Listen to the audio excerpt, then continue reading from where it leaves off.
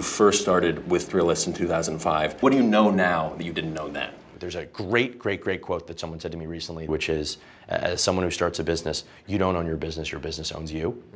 And it is so true. And like the sooner you realize that, the better off you're gonna be because you understand like what you're really getting yourself into. I'm Hartley Sawyer. I'm an actor, an activist, and a full-time work in progress. I am my business. I'm the CEO of me.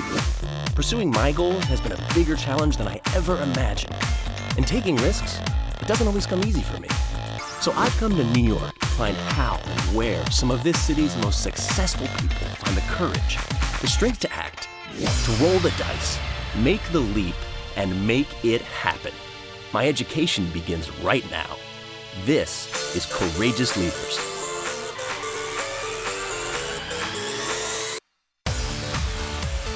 Recalibrating priorities while your business grows takes as much courage as pursuing a new venture altogether. Ben Lerer is mastering the art of evolution, but he's still having fun. So Ben, thank you for being here with me today. Of course. In this 10 years since you started Thrillist, has that evolved? Because you've gone through a lot of changes. Look, when I started the company, I'm like a little kid. I'm 23 years old. I'm like, yeah, I'm gonna go build this thing. I'm gonna sell it for a ton of money, and then I'm never gonna work again. And that's what I'm thinking about. I'm like, thinking about. Hey, like, isn't that nice? It's great to hear this from you today, and it's like I'm thinking about thinking about you 10 years ago. Do you have advice for someone like that? My advice is gonna be the same for anybody, which is don't start a company unless you have to start a company. Mm-hmm. And I don't mean financially. I mean like unless there is a business that you every day you get out of bed and it's all you think about every night it's the last thing you think about before you go to sleep. That's when you start something. I would advise people not to start something when they saw the movie The Social Network and they're like, well, he's incredibly rich. What you think is going to happen probably is not going to happen. And if you come into it in any way other than like eyes wide open, that it's going to totally throw your life upside down, um, you're, it, it's going to throw your life upside down.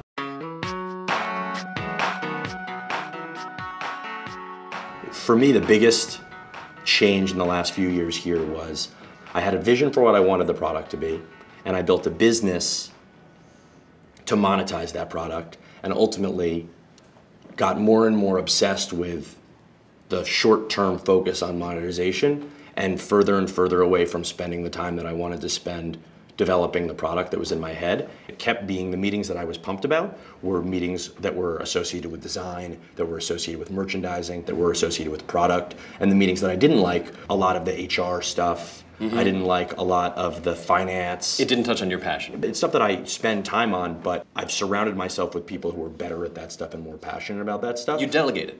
Well, yeah, and, and I, I, hired you know leaders in these areas who are more passionate and better at that stuff, and I've been making changes in the business. And so, ten years in, it's like I'm reborn almost in coming to work every day because I'm more pumped about the products that we're building than ever before. And so, I can do this for the rest of my life if we're building stuff that I'm passionate about.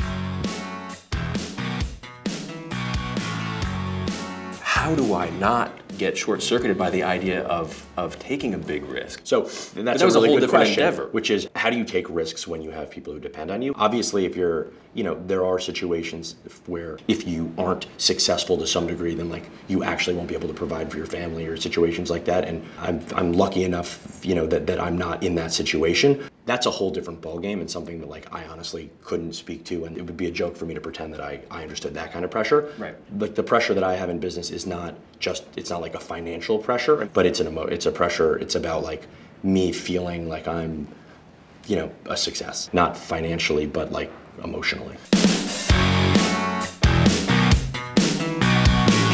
I should take my business seriously, but I shouldn't take life too seriously. That's the right way to think about it, which is just enjoy yourself. Like life is short. Have fun, and if work's not fun, then change it. I mean, that would be the advice that like I give to entrepreneurs that I work with. Recently, a, a, one of our companies came to me, and I just had a catch up with him, and you know, I, I looked at the business, and he told me what they were doing and what the plan was, and it was just like so apparent that he had lost any excitement for the biz. I'm like, look, you have no passion for what you're doing whatsoever. You have any other things that you've been thinking about? And he's like, well, to be honest, there is this one sort of crazy, weird project. And I said, take a week's vacation, clear your head, come back, and start tackling that other thing on your own and seeing if it becomes something that you're excited about. Do something that you are passionate about and excited about, go do it. So you, you follow that fire. If you want to do it, go do it. In every aspect of your life, just go do it. I actually believe in weekends. Like, Okay. Like I legitimately disconnect because otherwise, like I've been doing this for 10 years. Like I will explode at a certain point. It's just too much. It's too much stress. It's too much anxiety, and I need that break and that separation. And I'm able to get that only by actually forcing it. Yeah. Eh, That break is really necessary, and it's what's allowed me to do this for 10 years and not burn out. You know, here, here's a, like a funny little anecdote. I was with my wife and another couple, and one of the guys talking about this challenge they're having in business. And he talked to Emily about it, and he said things at work are terrible. It's the worst ever. And she goes, "You ever, "You're healthy?" He's like, "Yeah." He's like, "Your family's okay?" He's like, "Yeah." She's like, "Eh, you'll be fine." And I just thought that that was such a awesome way to look at things. That work isn't life or death. Like my best days and my worst days are here, but I'm trying to find ways to create less uh, volatility in the difference between the best and the worst day. What did I learn from Ben? If you don't run your business, your business runs you.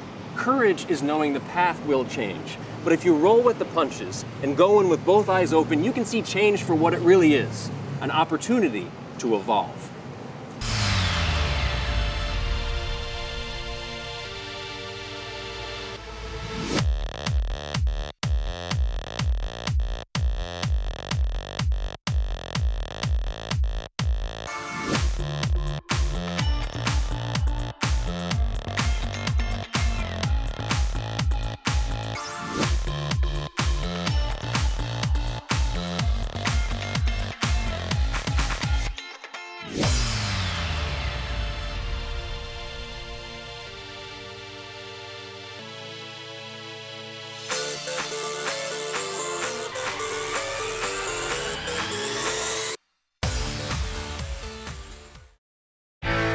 Reserves its most amazing rewards for the bold, for the curious, for those with the confidence to pursue their dreams. Hiscox Business Insurance, the courage to do more and be more. Hiscox, encourage courage.